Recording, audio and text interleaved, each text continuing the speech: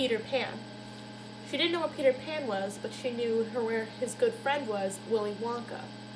So when she got to the chocolate factory, Willy Wonka said that the, that the leg was hidden in Pepperland.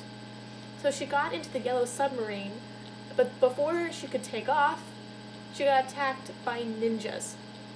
Now, these ninjas took her to a very terrible place.